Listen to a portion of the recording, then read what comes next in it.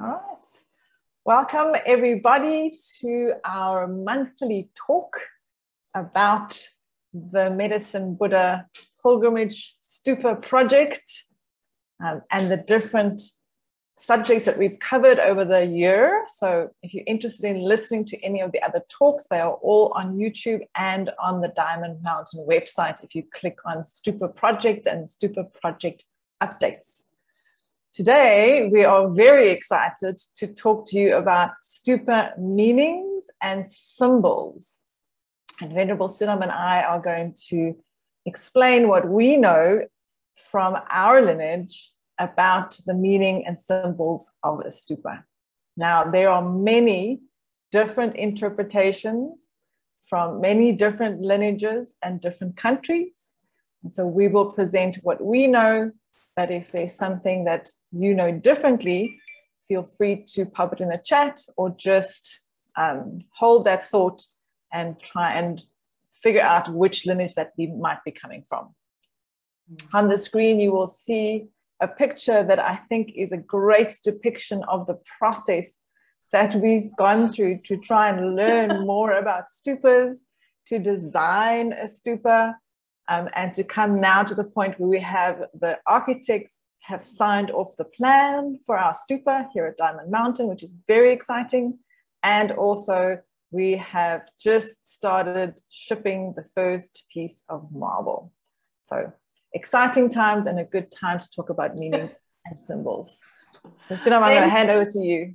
Yeah, thank you, Hanli. When you say the first piece of marble, in my eye, there is some kind of one small piece of marble. Maybe you should add it's four containers full of marble for the first stupa.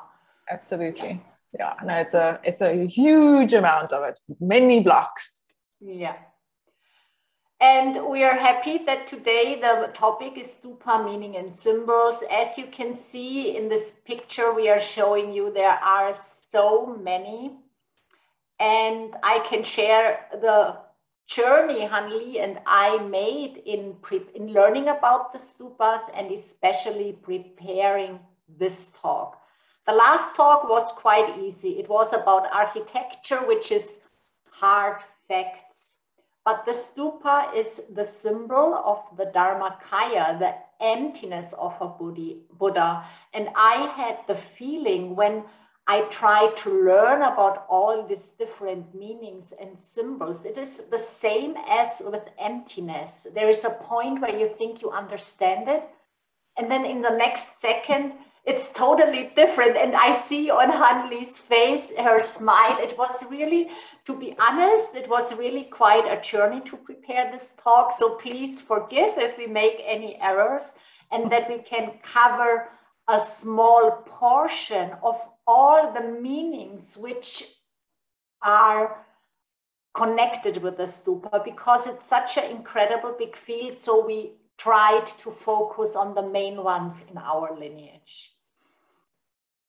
Um, first, I would like to start with a quote from Jim Westbrook, which is very, very beautiful. He built a stupa in California, and he was one of our main contacts in helping us to get the project kicked off. And this quote is very beautiful and I think it shows all of us who are contributing to the stupa in any way by helping us and donating, by translating, by organizing, by whatever, whatever it is you contribute to the stupa. What an incredible karma it is, and how we will benefit beings in the next 500 years when they see the stupa. I believe early on, we, my fellow builders and I, were reminded by our teachers time and again of the great opportunity at the heart of the stupa building project. That is the incredible karma necessary to even see a stupa, much less build one. after several minutes of this, I seem to remember most of us were in tears. And as much as karma is required for this opportunity, the karmic results are, as our Lama said, simply inconceivable. I would like to add a few personal notes here. I was very moved when Dinara from Moscow told me that a few weeks ago she was driving around in Moscow and suddenly discovered a stupa in the garden of a house. And that's incredible because she is supporting and helping us a lot with the stupa. And obviously, she already accumulated the karma to suddenly see a stupa in real life. And I found that so moving, so, so moving. Let's go on with the quote. Oh, I would appreciate if one of the translators could turn on the video, then I would know if I'm going too fast. Thank you. I have often heard the phrase power of the object, referring to the stupa, of course. I am happy to say that this is something which can be experienced. We used to joke that we are building the stupa as the stupa is building us. And here the same. I think Hanli and I know already what that means, that the stupa is building us. Maybe you too. this is what happens during stupa building, I am sure. And it's not a joke. We all have reactions to Dharma teachings and activities, of course it's always been amazing to me that this Buddha form, which we construct, these common materials we use, and this constructive activity give us this direct resultant feeling, as well as confidence that this feeling is real. We listen to Dharma teachings, meditate on them, try to understand them, but how can such an object as a stupa, this form, have such an effect on us? The power of the object.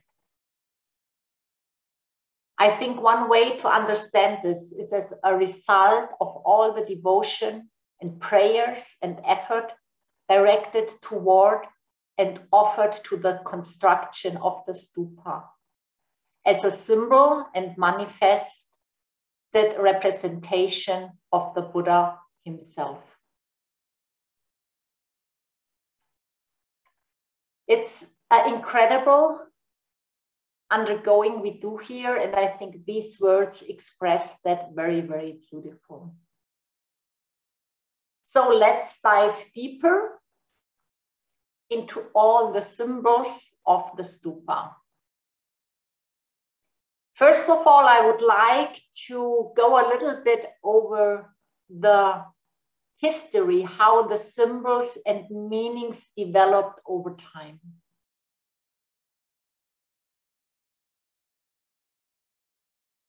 In the beginning, it was a graveyard. The stupa in itself already existed at the Buddha's time. And it was the stick put in the earth, and then the earth hill was built, and this was the graveyard. And when Buddha died, and died, sorry, that's the wrong expression to be used, when he went into his paradise, his leftover body was cremated and uh, there was a big fight who gets the relics of the Buddha. And then a Brahman decided that the ashes are split in eight and that at the very important points of Buddha's life on this earth, the stupas should be erected. And one example is the stupa we see here. It is the Chaukhandi stupa in Sarnath, where he met the five ascetics. And there is another famous one in Bodh Gaya, where he reached enlightenment. So these are the first ones related to the Buddha. And then very soon it become a place of worship where the people worshiped not directly the Buddha, they worshiped the ideas he put in our minds, he left on this earth, the path to enlightenment. And that's also why the stupa is said to be the expression of the Dharmakaya. Later on, more from Han Li about how this goes together. So then several practices evolved. And one of the most famous ones is to walk around the stupa. Now there is always the big question, do I go around the stupa clockwise or counterclockwise? And the general answer is if you are uh, open teaching Buddhist, you go clockwise, always with the right side to the stupa. Because in India, the right side was the pure side, the left side was the impure side. That's why they say you should have your right side to the stupa so that your more pure side is next to this holy object. But if you look at it from the standpoint of emptiness, the most important thing while you are walking around the stupa is where you keep your mind. And also, it's uh, very common that you are reciting a mantra. But in general, put your mind on something which is connected with enlightenment because the stupa is the representation of enlightenment. So this is a really good thing. And one of the biggest uh, circumambulations we know is the one of Mount Kailash, which is about 23 miles, because Mount Kailash is also seen as a big stupa and it's very beautiful. And we at Diamond Mountain, we do it with our existing stupa that we circumambulated, and it's paying respect to the idea, which is the, the stupa is the symbol of. And also in um, the early years, and also we have this in other religions, the stupa is the expression of the Dharma and the Dharmakaya, because at this time it was not allowed to picture the human body of the Buddha. And Buddha really didn't want that. So the early stupas are a mathematical expression of the Dharma, which I think is very, very beautiful. And then later on, round about 400, 500 after, in our time calculation after uh, Anno Domini, then slowly the depiction of the Buddha's body and his parts have been added on certain kinds of stupas.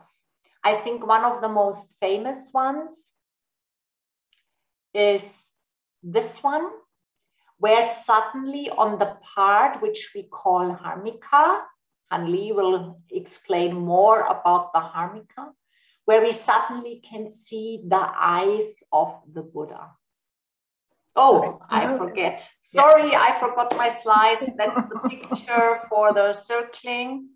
And here are the eyes. It's on the Boudhanath stupa, which is very famous expression of the stupas in Nepal that they have the eyes on the heart.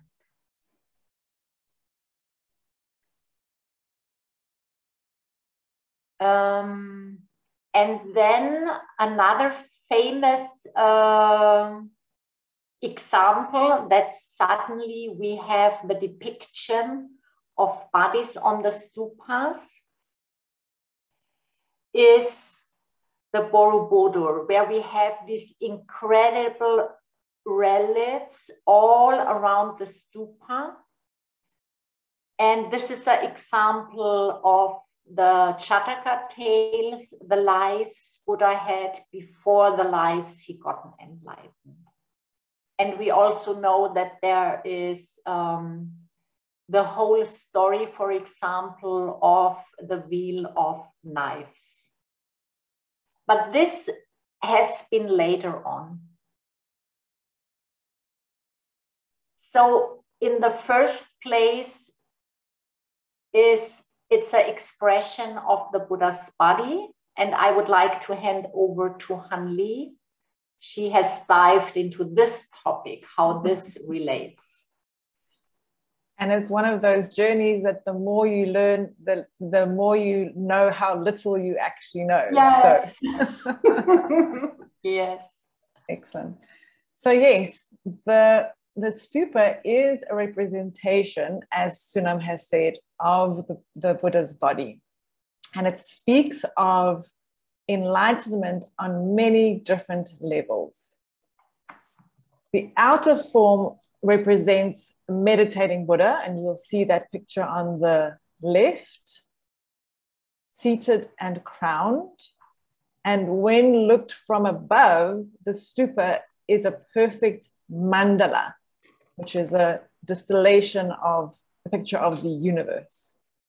So there's different ways you could also look at it um, when you plan, when you walk around it, and when you visit one, or when you contemplate on one. In the middle, you'll see these geometric shapes, and I'll talk about them a little bit more in a moment. The other thing to consider here is that when you see the Buddha superimposed, put on top of the picture of the stupa, sometimes they are done slightly differently. So as we go through these slides, you'll notice in some cases, the crown, the head and the crown of the Buddha is right at the top near the jewel. And sometimes it's in a slightly different place. So don't be disturbed if you see that the, the representation of the Buddha over the stupa is slightly different. Again, it just depends on which lineage you come from and which country you come from. So now those five geometric shapes Uh, correspond to five elements. And they also each have a color. So in the next slide, I'm going to speak of the colors and you're going to notice that the colors are not correct on the slide because different people have different interpretations, but we're sticking with this one. Okay. So in the next slide, you'll see at the bottom, there is a square. This is usually yellow. So at the base is a square it is yellow. I know you're looking at red, but I promise you it's yellow. it is a representative of the earth. So that would be the element that goes with it. And of equanimity. Because the elements and the colors also symbolize different aspects of an enlightened mind. And equanimity is one of them. Above that, you will notice a white circle. That is representative of the dome of the stupa. It is also representative of water and the relationship to the enlightened mind is that of being indestructible it cannot be destroyed. On top of that is the triangle, which is red. It represents the spire in the physical form, which is the pointy bit. It is representative of fire and also of compassion. Then there is the parasol, which is the half circle. It is green. It represents the wind in elements and all accomplishing action in terms of the enlightened mind. And then the last piece is the jewel or jewel drop. It's actually colorless, it has no color, right? It actually has no shape either because it's a representative of the void of space. And that is about all pervasive awareness. So, this is layer one of just how these geometric shapes relate to some of the elements, some of the colors, and some of the um, elements of an enlightened mind. And a little bit later, we're going to put another layer on top of that, which will explain each of the pieces of the stupa, the physical pieces and sections, and how they also relate. So pause here a little bit because I would like Sunam to speak a bit about the core or the inside, because we've now looked at the outside mm. and begun to put that together, but there's also a lot happening on the inside of the stupa. Thank you, Hanli. So the core of the stupa is the central axis. It is called axis mundi. In Sanskrit, yasti. In Tibetan, sokshing. And it was original this wooden stick which marked the center of the grave. And this wooden stick was never lost. It's always in each stupa, independent of the time, the expression, the country, in all forms of stupa the central axis is the core and the stupa is built around it. When we go back, when you walk around the stupa, you are walking more or less around the stick because the stick's main representation is the enlightenment itself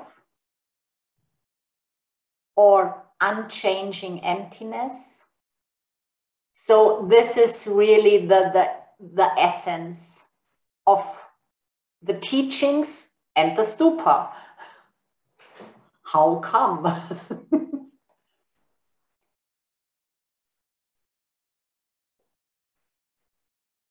uh, and today it is still the same that you place the stick and the stupa is built around it. There is a big, big ceremony where this happens. And on the right side, you see the red one. This is some kind of a symbolized painting of how the axis looks like. It has a half dorje at the bottom and a stupa on the top. And these are the symbols that it is the connection between the world and the enlightenment or the heaven or whatever you want to call it. And this is also the form and the representation which a stupa ignites in us, that we get our mind off our worldly thoughts and are reminded of the possibility of enlightenment and that we should take care and work towards the enlightenment. Then later on in history, it was connected to the tree of life which has is also a symbol for all aspects of the Dharma and the um, willingness to practice and to improve ourselves to reach enlightenment. Then there is another meaning later on where it was called the Meru Danda, or the Mount Meru, which is also an expression of the spiritual universe.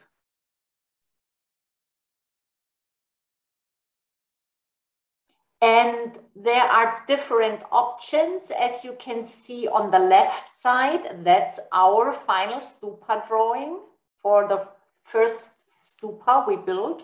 They will be all built the same one. So the axis can either be implemented in the earth and go all the way up to the tip, or it can start on the throne, or as we do at the level which is called the four immeasurables, or even at the harmika. But that's a very typical Tibetan expression that it starts at the four immeasurables because that's where the real stupa starts. The one here, the part below that is the basis, which is officially not part of the stupa. And also very interesting here in the middle picture, you can see that also the central axis, the sokshing, it switches shape at defined points, as Han Li has already explained with the elements and the corresponding uh, geometrical forms. And it's the same with the sokshing. And that's why it's really this beautiful, and then you have lots of um, letters written on it, which represent also the chakras of the Buddha's body. And as said, the Vajra as the connection to the earth and the stupa as the connection to the Buddha's paradise or enlightenment or Dharmakaya. There are so many different ones. So I would like to give back to Han Li, which now goes into the representation of the Dharma. Mm-hmm.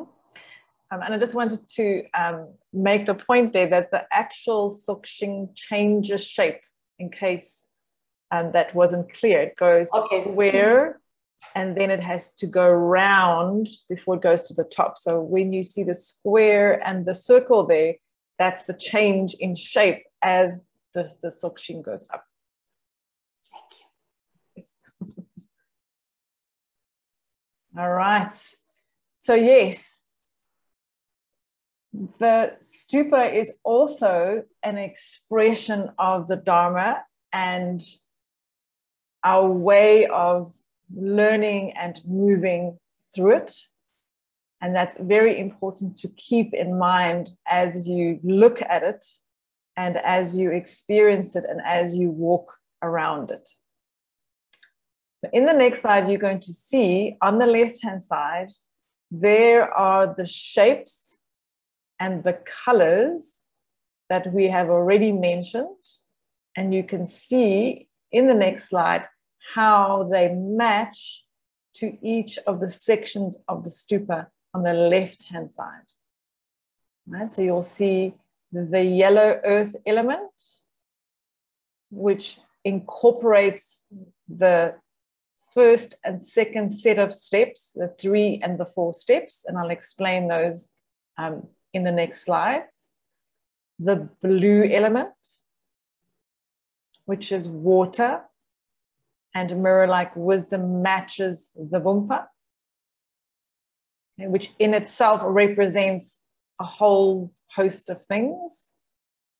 Then there's the red triangle, which is the fire element we already spoke about. Discriminating awareness, wisdom, right, which matches what they call the harmika, which is the bit that connects the bumpa to the spire, which is the one with the little stripes. And that also has additional representation or meaning. Then the green wind element, which is connected to the parasol, which is also about all encompassing wisdom, that the parasol itself represents compassion. And then right at the top is that shapeless, colorless white, the space element, which is connected to the moon, the sun, and the jewel represented on the stupa. So now you can see those geometric shapes and how they connect to the design and also to the deeper meanings of each of these pieces of the stupa. All right, so let's break it down. We're going to come back to the slide at the. I'm going to break it down into different sections now, and then we'll put it all together at the end. Okay, so the first one is what we call the terraces, the bottom piece, which is also the throne. And in the next picture, you'll see very, very elaborate. So it can go from very plainly designed to very elaborately designed, but it's still the same structure, still the same elements. There are three steps at the base, right, which is part of the throne, which represents the three refuges, the Buddha, the Dharma, and the Sangha. That will always be there. And just like you would prepare for your meditation, this, I suppose, is like a preparation or the foundation of you taking refuge. Above that, again, it might be designed differently, but the elements are all there. Will be another four steps just below the bumpa or the dome. In some cases, that will represent the legs of the Buddha. But it also represents, just go back one, please. Um, I just want to finish one back. Yep. Sorry. No, no, it's fine. Um, the legs of Buddha, but it also is representative of the four immeasurables loving kindness, compassion, joy, and equanimity. So that's the first part. And remember, this is the square, the yellow square. Excellent. Thank you. So then above these steps is the bumpa or the dome. This is often represented as the Buddha's chest. But again, remember the different representations. So don't get tangled up into that like we did. Oh, but this looks different. No, but that one looks different. And this one looks different too. what is really important is that it links to the seven elements of enlightenment mindfulness, discrimination, effort or exertion, joy, pliancy, samadhi, and also equanimity. And if you remember, this part the bumpa is representative of the round shape, which is blue. Then when we go one step up from there, we have the harmika. And the harmika in this picture is that piece that looks like um, the, the, the square with the eyes and then the lotus piece on top, it's that piece. It's the piece, the geometric piece that connects the bumpa to the spire. Okay, and that's, and Sunam mentioned earlier, that's often where the eyes of the Buddha go. And you see that in this picture as well. And that is representative of the Eightfold Noble Path right view, right intention. We spoke about that a little bit when we said you're going to walk around the stupa to keep your intention clear, right speech, right action, right livelihood, right effort, right mindfulness, and right concentration. And the shape that is connected to this is the triangle, which is red.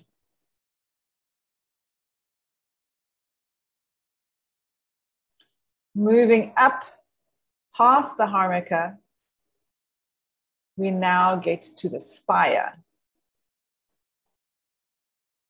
And these are very often those disc-like pieces that you see that are stacked on top of each other in the shape of a spire. This is a very beautiful and elaborate picture, but the elements will still be there. And they are 13 rings that make up that spire.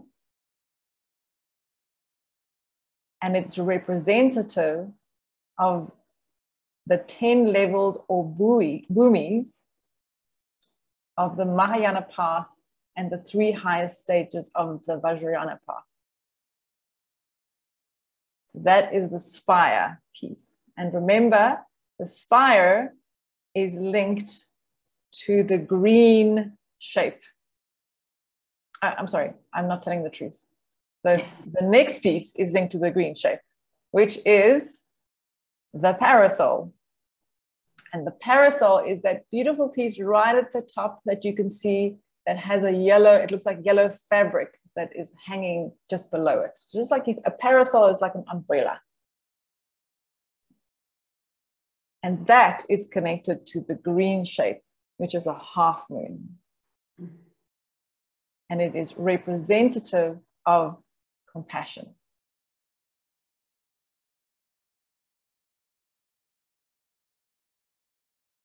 The final piece right at the top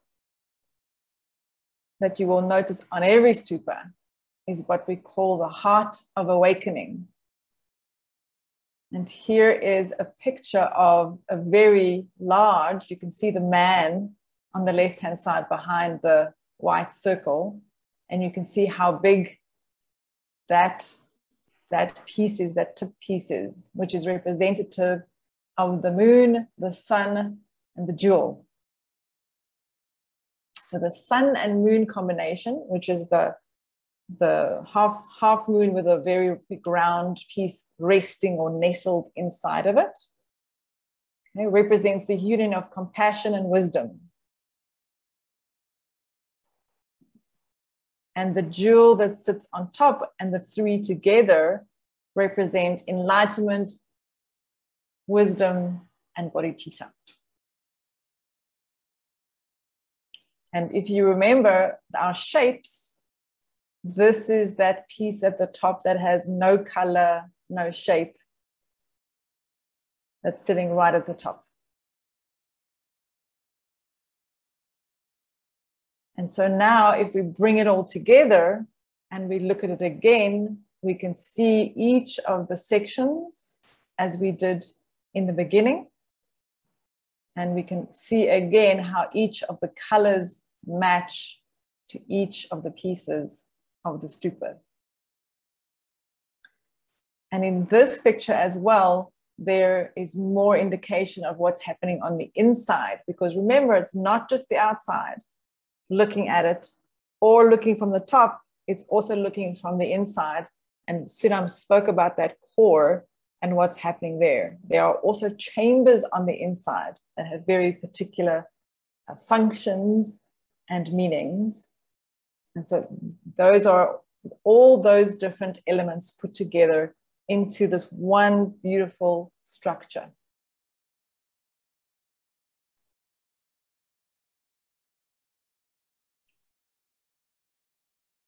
I'm sure that you have lots of questions as we've gone through this. And so you're welcome to pop them in the chat or if you're watching the recording to pop it either on the um, on the YouTube channel or send us a note and ask us some questions because we are also still learning and discovering all these things about stupas. And we, I hope that Sunam and I have given you a really good beginning of understanding and insight into the meaning, the meaning and the symbols of the stupas. Sunam? Thank you so much, Hanli. There are so many different other aspects like how the chakras are distributed. We talked a little bit about the elements. Then there is another one. If you take the stupa and look from the top to it, it's a perfect mandala. And depending on where you cut it or you have different Buddhist symbols like the swastika, for example, Then another one, how the five Buddha families correlate with the stupa.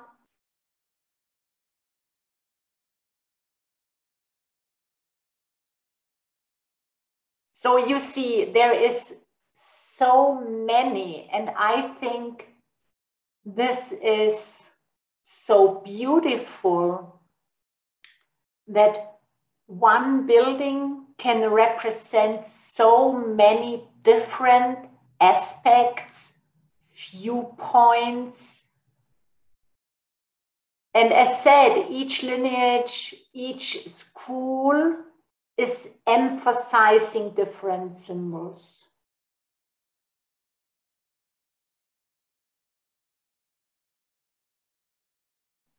And that is also the reason because there is such a strong symbolic behind the stupa. That there are so strict rules how to build one. Hanli is smiling because we these rules, it's incredible but only when you stick to these rules, you create this expression of enlightenment, of the Dharmakaya. It's the same when you picture, if you make a statue or a picture of the Buddha. Every little detail is really described. How are the angles? How is the distance? And it's the same with the stupa. And I think that what inspires in us this deep longing to reach enlightenment ourselves.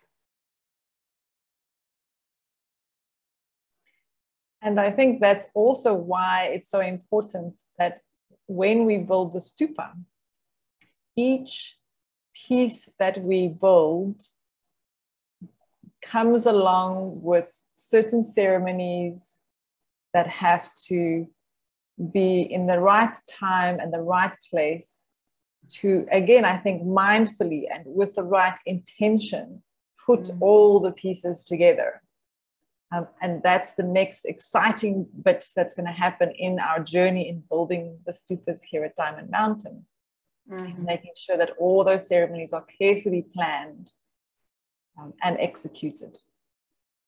And this is the one and more or less most important advice we got from our monastic advisors. Do it right. Take your time. Because we are building such an incredible thing, which we have talked now for 45 minutes.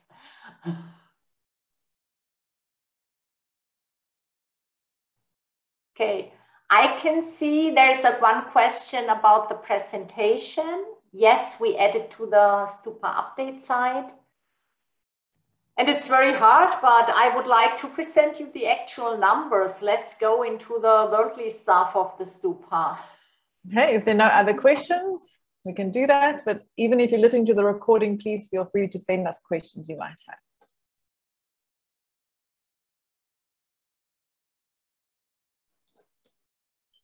Yes, Taiwan is over 1 million.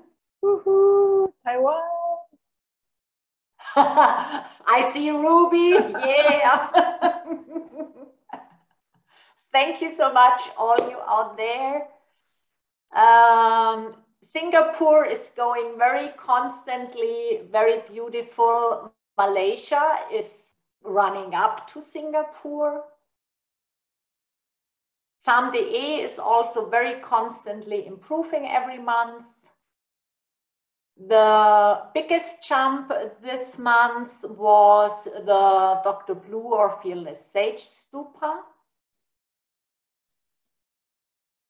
Thank you so much, Fearless Sage, for always taking care of us. Mm -hmm. There you can see the details about the different countries. These you find also on the Stupa update page if you want to check all the small numbers on this slide. And expenses have been, I would say, business as usual, credit card fees, but the most important thing is here, which I really happy and proudly announce that we have ordered the marble for the first stupa. So this is really a big step. Now we are going out of our planning mind and really get real. Yeah.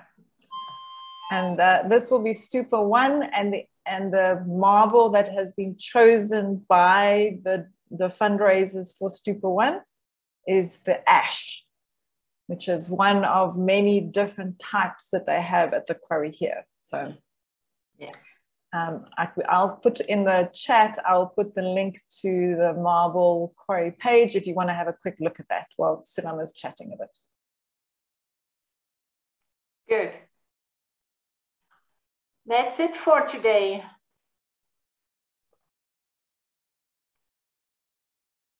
Thank you so much. I try to always remind what incredible thing we are doing here.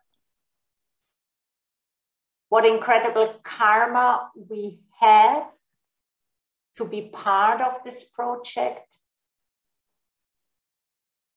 to make a stupa come into being. I rejoice in each and every one of you. I think it will connect us karmically for many lifetimes to be in this project together.